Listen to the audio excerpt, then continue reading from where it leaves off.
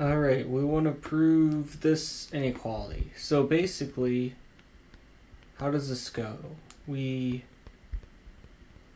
we know from uh, what is it? I had it written down here, 133 part E. I think it's a proposition that um, does it say? Z plus W norm is going to be less than or equal to the norm of Z plus nope norm of z. Well, certainly it is less than or equal to the norm of c plus w because it's equal.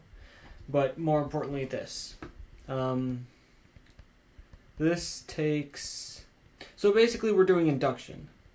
Um, this takes care of the base case.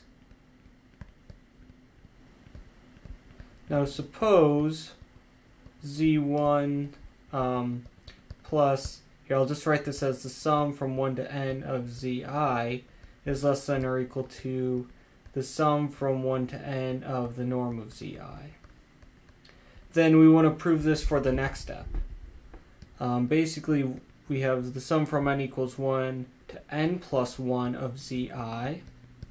Well, we can write this as the sum from 1 to n of zi plus, so this thing plus z n plus 1 and then we just use the base case, but with z here equal to this entire sum and w equal to zn plus 1 to get that this is less than or equal to the sum from 1 to n of zi plus zn plus 1 and then let's see here. Well we know from the inductive hypothesis that this inequality holds. And so what we have is this is less than or equal to the sum from 1. So this thing is less than or equal to the sum from 1 to n of zi, and we add z, the norm of zn plus 1, so we get the sum from 1 to n plus 1 of zi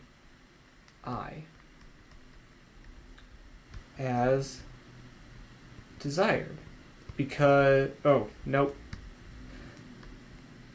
This confirms the inductive step.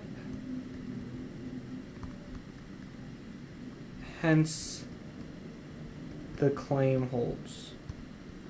So I kind of sped through this really quick because it's basically just a really easy inductive argument, and there's not a lot of stuff you have to do. All the work was done in 1.33e in showing the base case.